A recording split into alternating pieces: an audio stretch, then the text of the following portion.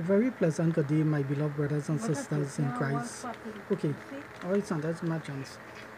A very pleasant good day, my beloved brothers and sisters in Christ and outside the body of Christ. So, once again, this is your Christian brother Eric Braxton speaking to you all from this beloved country, Trinidad and Tobago, the land of my nativity, the land of my birth, Trinidad and Tobago, this wonderful island country that is in the blue Caribbean Sea, speaking to you all in the month of February 2020. God riches, blessing, and love and grace upon mankind from this forth and forevermore brothers and sisters, I was watching, um, well, of course, reaching out to, my atheist brothers and sisters with my Christian right hand of fellowship, teaching them and pointing them to Jesus Christ, to the Word of God, and to God Himself.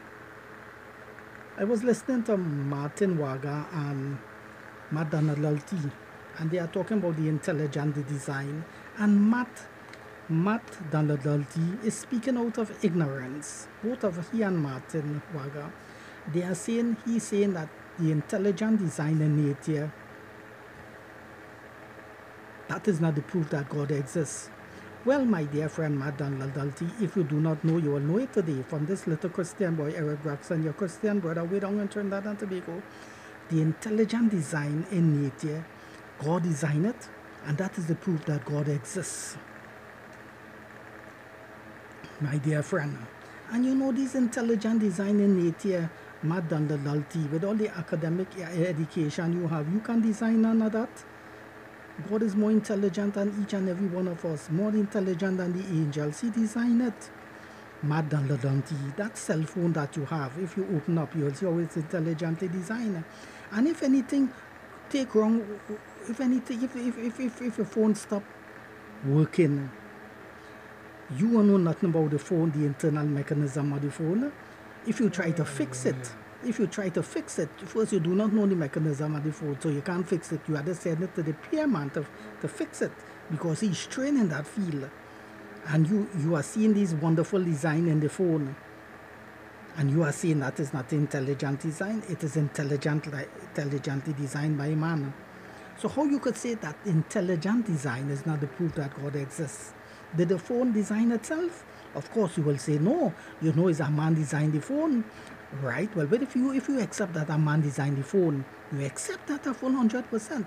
Well, if I tell you it's God designed the moon, you don't want to accept that. You want to say the moon come about by some big bang, an evolution. You see the foolishness that you all are on, and I'm this this what I'm trying to for Jesus Christ to free you all from that foolishness. The same way how there's designer the cell phone, there's a designer the moon and stars, and that one is God. God. Well, if I'm wrong, Matt Dillahunty, which I'm not wrong, but I'm just saying that you know the person and you Matt Wagner and all my atheist brothers and sisters show the atheist community, not only in Dallas, Texas, but all over the world. The man that designed the cell phone, he can't create no moon. He cannot design a moon and create a moon and put it up in the sky to shine like the moon that we already have by God. No, he could only take things on the earth, matter, and make things out of it. But you see, the moon and the stars, nobody can make that. God Himself make that. Ah. Because you see, the moon and stars, God speak it into existence. But the designer who created the cell phone, he has speak nothing in his existence. He take materials and form it by the idea that he have in his mind. You see, that's the difference. Oh, they didn't know that. Oh, well, that's why I'm teaching you all that. How you think God created the sun? He speak the sun into existence by his thought of his mind and come into in the existence manifestation. That is the Bible say, oh God. He speak things into existence, but first he form it in his mind. Mm-hmm. Yes, the radio the companies that making the radio they're not speaking live living they're not speaking radio into existence. You will see the technician everybody have a job in the factory. This one making the cover the radio the next one making the speaker the next one making the producing the wires the next one making plugs and the, when they put all these parts together then the man assembly the radio. Ah but then, then you see when you go in the factory, you are seeing a man talking over a mind and say radio and a live radio come into existence, radio and a next radio come into existence, fully make, you are seeing that. Uh-huh. That's the difference between God and us. And I want to teach you all that lesson. Yes, I want to teach you all that lesson perfectly well so that you all will learn it. I already learned it, and I want you all to learn it too. Yes, God speaks things into exist- existence. Oh, yes, He created the angels that way. The angels didn't come to no mother, the angels are no mother, and they didn't went to no six biological, spiritual, biological um, months. You know, female angels' womb, so they came out. No, God speak the angels into existence. He formed them, He shaped them, and there's angels, and they come into angels, live angels. Yes, that's what He did. Mm-hmm, mm-hmm, mm-hmm. This is the teaching of the scriptures. So, Matt Donald Dalty and Matt Wagner, you all have it wrong. The intelligent design in the universe prove to you that God exists. Oh, yes. You all only talking, talking, talking in Dallas, Texas, and that ATA show, you know. Only making all yourself a fool each day. A fool each day. And want other people to become fools like you all by denying that God exists. Well, Psalms 14 is singing over all on their head. A fool in his heart say there is no God. Yes, and all the Christians who believe in God, you all want them to become fools like you all.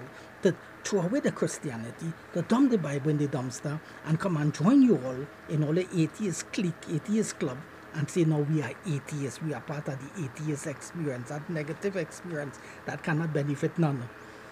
You want me to do that?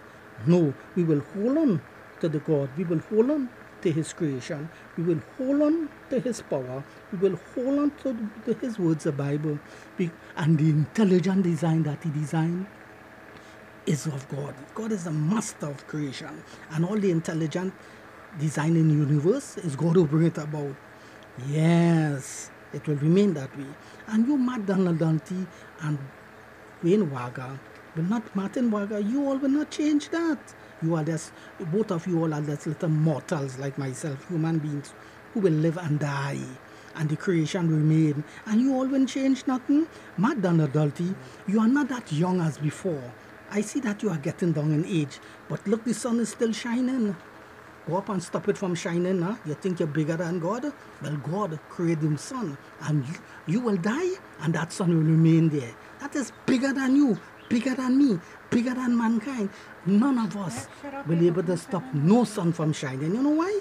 Because God created the sun, the sun before mankind. God is in charge. He's the biggest in all. He's bigger than the angels. To the angels are little angels. They might be big to us, but in the eyes of God, them is little angels. You understand? I want you all to know that too. So, Donald Dante, you are getting down in age, my dear friend. And with all the intellectual talk and all the bright and all the, your bright debates and your clever comeback and all these things and you have won the debate or have you have tied the debate and all these things. oh yes, the day tomorrow will die. I can assure you the sun will be shining in the right ways and the moon, hmm, first quarter, second quarter until it will light up. It will you're, you're born seeing it that way and when you die it will continue that way after you and you will be able to change nothing. That applies to me too. Why have I used that example? I have used that classical example to prove to you all that God is in charge. He's the master of creation. And none of us down here, mortals, will change these divine laws that He has set in motion. Ah, think about that, my dear friend. Think about that. That's why Eric Braxton, your little Christian brother, this little Caribbean boy in Trinidad and Tobago, have stepped to the fore to teach you all these things. You all with all the PhD and MA a master degree. We're not able to change that. Look, the moon. You see it first quarter light up, the second quarter, then we get full moon. All over all PhD that denying that God doesn't exist will change that now. Change the law. Change the law of the moon now. You all will not able to do that. All the talk, all the talking, and all the prestige that you all have gained in the community, with all the books and autograph that you all have get, you all be able to change the sun from shining and you to stop the sun from shining and the and the and the moon lighting up the first quarter you all will be able to stop that you all will die and you all will die and go all to all the grave and when all are dead and buried the sun will still the sun will still be shining how god designed it to shine and look the first quarter the moon the second quarter, the third, and the, till the moon light up, it will continue so till because God designed it so, and none of you all will be able to stop these things because that is bigger than all of us. I want you all to learn that lesson for 2 2020 if you all did not learn it in 2019. Well, if you if you all say Eric Braxton is rude to you all, he claimed to be Christian, but look how he's speaking rude to us. you think he's brighter than us? I ever said that I'm brighter than you all?